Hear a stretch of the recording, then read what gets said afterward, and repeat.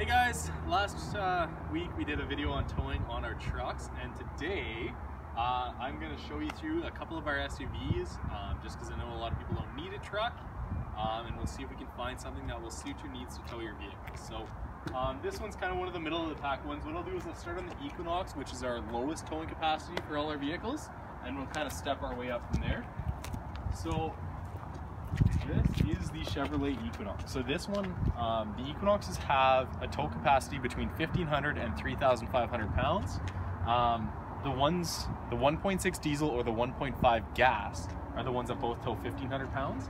The 2 liter turbo, which this one is, comes standard with the towing package and tow haul mode um, will tow a maximum of 3,500 pounds on a trailer with trailer brakes.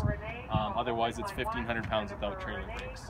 Um, again, has a hidden hitch and a 2-inch receiver and a 7-pin harness in behind that cover.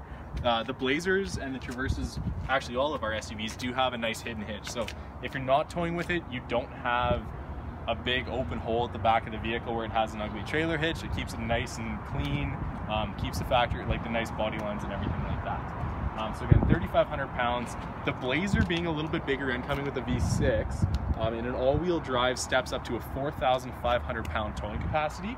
Um, so something like this, you can even get into a smaller boat um, or a smaller holiday trailer and, uh, and actually be able to do it without getting into a pickup.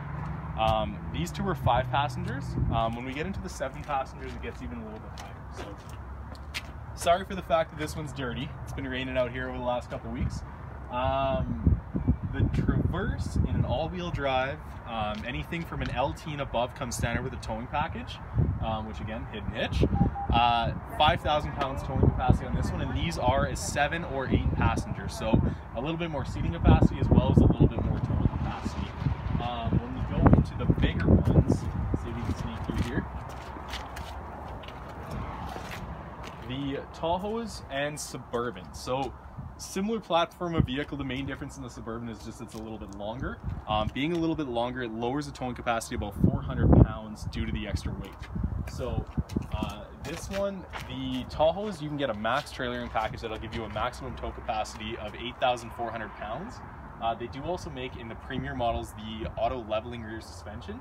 So this one's an LT which doesn't do it, but in the premiers, if you load up a trailer and the trailer squats the back of the vehicle, it'll actually self-inflate the rear shocks um, to keep you having the nice level ride. So 8,400 pounds is a max towing in even this particular one that has the max trailer package.